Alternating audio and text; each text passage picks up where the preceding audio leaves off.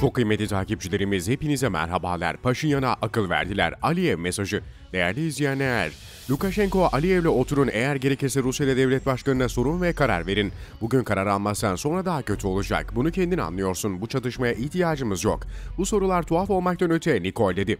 Belarus Cumhurbaşkanı Alexander Lukashenko Kolektif Güvenlik Anlaşması Örgütü Kolektif Güvenlik Konseyi'nin çevrim içi yapılan olağanüstü toplantısında bir konuşma yaptı.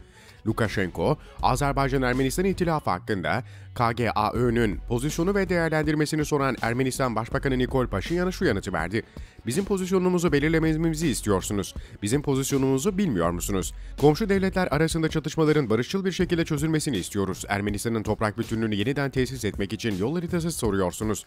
Hangi yol haritası? Cevap veriyorum İlham Aliyev'le oturun. Eğer gerekirse Rusya Devlet Başkanı'na sorun ve karar verin. Bugün karar almazsan sonra daha kötü olacak. Bunu kendin anlıyorsun. Bu çatışmaya ihtiyacımız yok. Bu sorular tuhaf olmaktan öte Nikol dedi. KGAÖ liderleri olarak gelecek ay Erivan'da bir ay geleceklerini hatırlatan Lukashenko, Rusya, Azerbaycan, Ermenistan liderlerinin 31 Ekim'e kadar bir araya gelmesinden sonra bu durumun yeniden analiz edilmesini önerdi. Durumun bir yandan KGAÖ, bir yanda Azerbaycan meselesi olmadığına dikkati çeken Lukashenko, Azerbaycan'ın da üye olduğu bağımsız devletler topluluğu ülkelerinin aynı zamanda KGAÖ üyelerinden olduğunu hatırlattı. Lukashenko, Ortodoks Ermenistan'la çok yakın bağlarımız var. Müslüman Azerbaycan'la çok yakın ilişkilerimiz var. Bu özellikle 30 milyon Müslümanın yaşadığı Rusya dahil diğer KGAÖ üye devletleri için hassas bir konu. Yani tüm nüanslar dikkate alınmalıdır diye konuştu.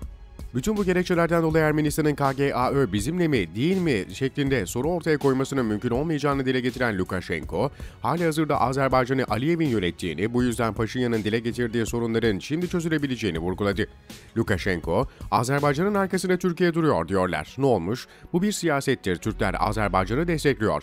Çünkü onlar yakınlar ve kardeşler. Rusya da Belarus'u destekliyor. Belarus da Rusya'yı çünkü biz de yakınız ve kardeşiz. Bu yüzden Azerbaycan-Ermenistan arasındaki sorunu şimdi çözmek lazım ifadesini kullandı. Haberimizin sonuna geldik. Sizlerden kanalımıza abone olmanızı, videolarımızı beğenmenizi ve nokta dahi olsa yorum bırakmanızı rica ediyoruz.